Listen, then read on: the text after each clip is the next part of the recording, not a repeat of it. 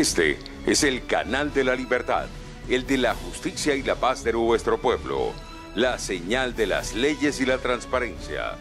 ventana de la verdad, por la Venezuela que todos queremos, Capitolio TV. Tenemos perfecta conciencia de lo que representa el problema del agua, el colapso del servicio hídrico en Venezuela y por consiguiente tenemos que darle impulso a este debate para establecer las causas de este problema y por supuesto las consecuencias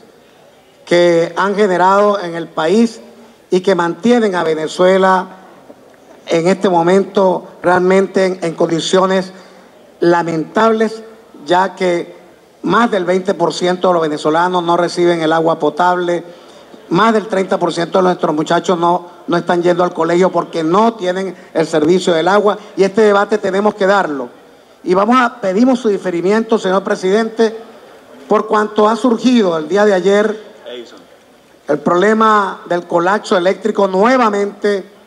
se vuelve a presentar en Venezuela y es un colapso general que ha, que ha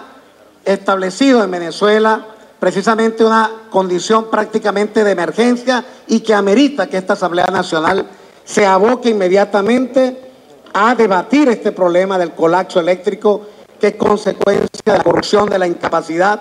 y de la incompetencia. En tal sentido, señor presidente, solicito formalmente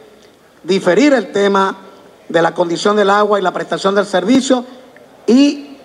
eh, que sea incluido